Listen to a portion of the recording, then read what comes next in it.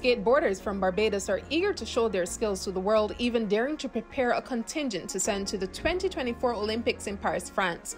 On Saturday, December 11th, a team of five became certified instructors through the International Skateboard Certification Program under President and founder Jay Mandarino.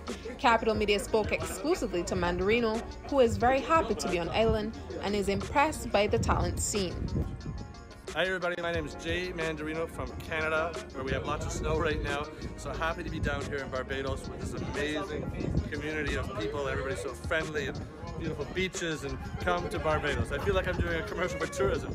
But I'm here actually as president of the International Skateboard Certification Program, and we're here certifying five amazing instructors. Of course, the first woman in the world is Jade, who is one of our facilitators. Been with me, us for a couple of years now, and it's just great. This skate park, honestly, is amazing. It's a world-class skate park, which is great, and uh, the people are great, and it's really all about giving back to the community, empowering people through the great sport of skateboarding. And of course, with the introduction of skateboarding at the Olympics, everybody wants to get certified. Public Relations Officer in the Skateboard Association of Barbados, Jade Nichols, who is now the first female skateboard facilitator in the world, gave Capital Media her thoughts on the program. What are your thoughts on the certification program today thus far? What are my thoughts? Well, I think we're having um, an awesome time. Everybody's learning a lot. We're learning how to structure programs, teaching the kids how to do games, which is what we're doing right now. Um, that's pretty much it for right now. We have Jay Mandarino over here from CJ Skate Park, and he's the president of the Scouts. Watching, this is uh, I'm from Canada, part of the International Skateboard Certification Program. This is our first presentation since I say BC before COVID.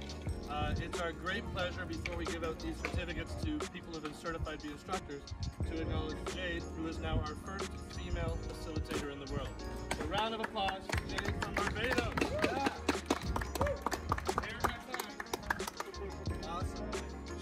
with our organization for a few years right now. She's done some volunteer work and she's done a great job with teaching girls and other skateboarders, so it's great. So, our first presentation is to Adrian Bowen. Where are you, Adrian? Yeah.